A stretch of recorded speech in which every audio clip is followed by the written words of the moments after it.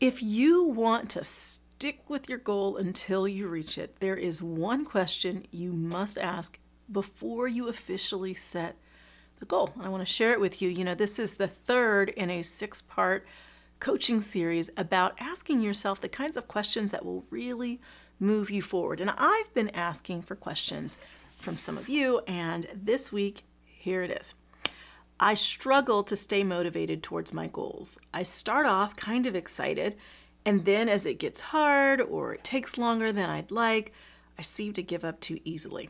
Like I find excuses for why the goal is optional or why it doesn't really matter as much as I thought it did when I set it. How can I do better in staying motivated until I reach my goals? This is a great question. I don't know if you've ever been there. Most of us at some point have found ourselves setting a goal and then just losing steam. I mean, did you set some goals back in January? Do you have some that have just kind of fallen by the wayside? Maybe you haven't even thought of them anymore. You know, a lot of times we're looking for the right answers, but what we really need is to make sure we start with the right question. And there's a lot of research around goal setting and goal getting. In fact, we teach a whole course called Goal Setting and Goal Getting in our coach training program for that very reason. Because when you understand what it really takes to stay motivated and to get motivated in the first place towards a goal, it makes your whole process a lot more effective and efficient. You waste less time and you get to your goals faster. So, I want to give you one question to coach yourself with, and it is this when you think about that goal that it's so important for you to stay motivated towards, what will your goal give you that you don't already have? I'm going to ask that again. What will your goal give you that you don't already have? Here's the thing we want to make sure that the effort that we put towards a goal is ultimately going to be worth it. And so, what that means is when we ask, What will my goal give me? What we're really saying is, what's the purpose behind this? What am I going to get as a result of putting forth the effort, the resources, the time that it's going to take for me to get to that goal? And a lot of times we don't ask that question. You want to understand that, you know, there's some benefits to every goal, but sometimes the benefit doesn't outweigh the effort. So you might be offered a promotion, right? And and maybe that was the goal, but you realize if you take it the time that you're going to have to invest conflicts with the freedom that you're wanting to have more of. Um, sometimes, you know, money isn't ultimately the thing that we're wanting more of.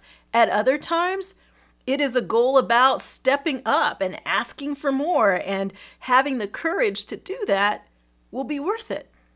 So when we say, What will my goal give me? Well, it's going to give me a lot more satisfaction, or it's going to give me more freedom. It's going to ultimately be worth the effort and the resources that it's going to take in order to reach the goal.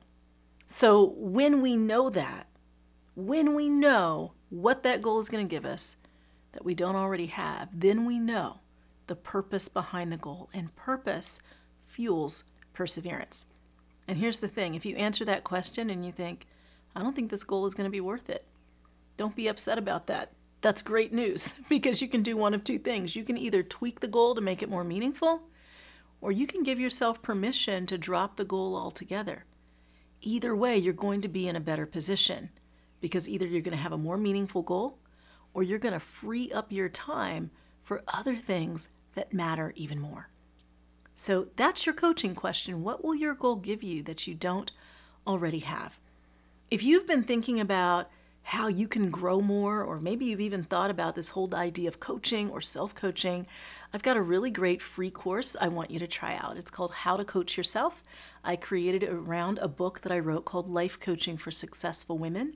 And if you go to valorieburton.com, you can take the free course. Or maybe you're ready to go a little further in your personal growth because where we go is really determined largely by how much we are willing to grow.